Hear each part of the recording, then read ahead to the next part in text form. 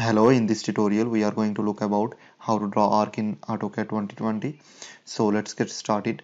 Arc command is in draw panel under home tab you can see or simply you can just uh, use a shortcut of A to draw arc. I will just go here and I will click on this drop down arrow as you can see this the arc option and I will click on this drop down arrow and here you can see some of the options to draw arc some 11 options are here. You can see three point start center end so we will look about all of these option one by one. And first one here is three points so I will click here to activate this one. As name suggests we have to just give three points here. First point this point and I can just give second point anywhere here. Okay for example I want to give here a second point and then third point. So this is simply three point option here okay now again I will go here and I will click on this drop down arrow. And the next option here is start center and end. So in this case we have to just give start point center point and end point. So I will click here to activate this one. And in this case I will give this point as start point. Then I will give this midpoint and then this end point. Okay? So this is what start center and end option so let me just delete uh, both of these from here and I want to erase this one right click and I will go in erase option. Now again I will go here and let's see another method. So this is start center and angle. So it's mean that we have to just give start point center point and including angle as well. So I will click here and start point center point and then I will just give angle here okay? So let me just give here angle of 45 degree and I will hit enter. Now this is 45 degree arc and the included angle here is 45 degree. Let me check whether it is correct or not.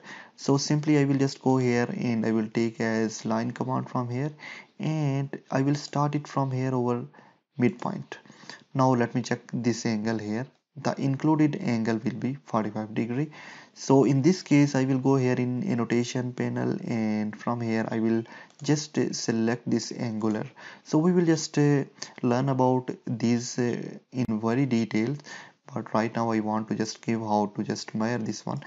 Uh, I want to just check the included angle. So I will select this one and select this one as well. And you can see here included angle is 45 degree.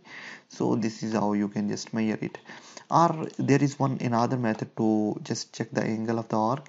Simply I will click here and I want to check the angle here. Now you can see this 45 degree angle. Now let me just escape this one. I want to delete this arc again. And again I will go here in this arc option. And the next option here is start center and length. So in this case we have to just give start point center point and length of the chord as well. So I will just uh, click here to activate this one start point and then center point and, and then you can just give the length. As this uh, dot line is showing the chord length here simply you can click anywhere here to give the length or you can just give uh, the value here as well. For example I want to just uh, give here a value of 300 so I will hit enter. Now this is the 300 length arc so let me check this one. I will go here in length option and I will give this point as first point and this as second point. And this is the length of 300 okay unit. So again if you want to check you will go here in dimension and you can check somewhere here okay. I will just give this point as first point and this as second point. So this is 300 unit of arc okay. Okay let me delete this one again. Again I will go here and the next option is start end and angle. So here we have to just give angle as well okay with the start point and end point. So start point end point as this point okay and we will just give angle. Let me just give here a angle of 90 degree. So I will just give 90 degree angle and this is 90 degree angle arc. So oh, let me check this one whether it is 90 degree or not. So in this case I will just uh, take a line command and first point and uh, this center point of arc and this point.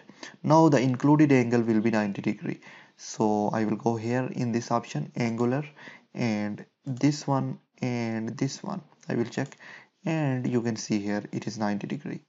Again let me just escape this one from here and I will go again here in uh, this arc option.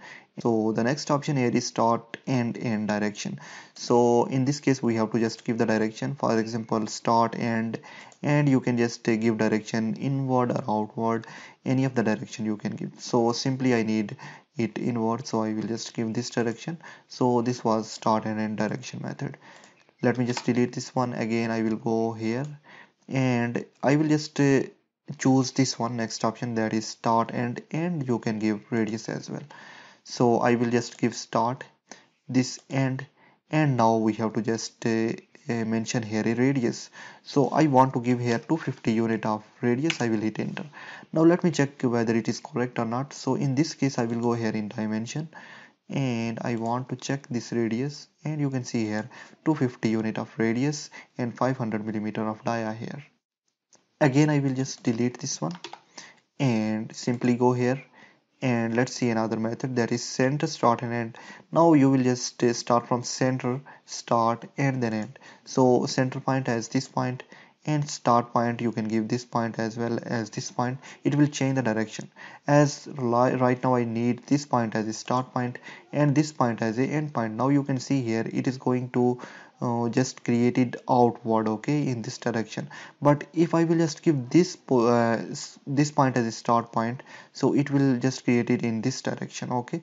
So simply you can just change the direction from control key as well. If I want this arc inward simply I will just hold this control key from here and the direction will be changed okay and I will click here so you can just uh, press and hold control key if you change the direction of the arc. Simply I will just delete this one from here. Now let's see next method. I will just go here. I will click on this drop down and the next option here is center start and angle. So in this case we have to just give angle. So center then start and an angle. So I will just give center point start point as this point and now we have to just uh, give a angle. So right now I want to just give 90 degree of angle so I will just uh, enter 90 value and I will hit enter. Now the included angle will be 90 degree as we can check from here. In this angular option and I will just uh, give these two and you can see it is 90 degree okay? So this is how we can center start and angle option can use here. I will just delete this one again and let me check next method. And the next method is center start and length. So in this case we will just give length center start and we have to just uh, give a chord length here. So right now I need for example 300 degree okay?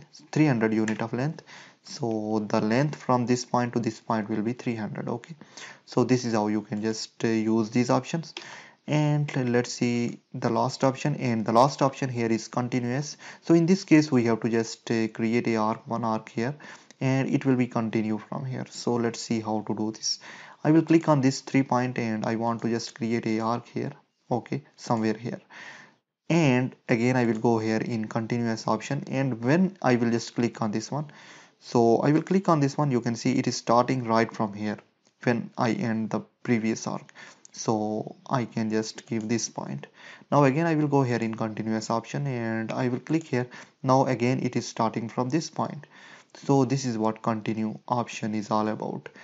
So these were some options regarding drawing arcs. So I hope you understand all of these options. I'll see you in the next.